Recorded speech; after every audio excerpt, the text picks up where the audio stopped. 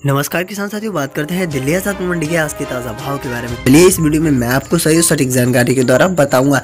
किसान साथियों, दिल्ली आज़ाद मंडी का जो माहौल है, आज का, अभी का अभी का जो अपडेट है, दिल्ली आज़ाद मंडी से निकल कर आया तो इस वीडियो में मैं आपको सही और सटीक जानकारी के द्वारा बताऊँगा।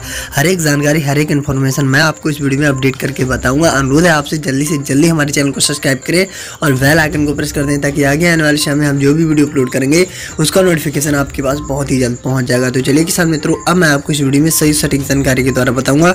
आज का जो माहौल है दिल्ली आज़ाद मंडी का, कैसा देखने को मिला हुआ है।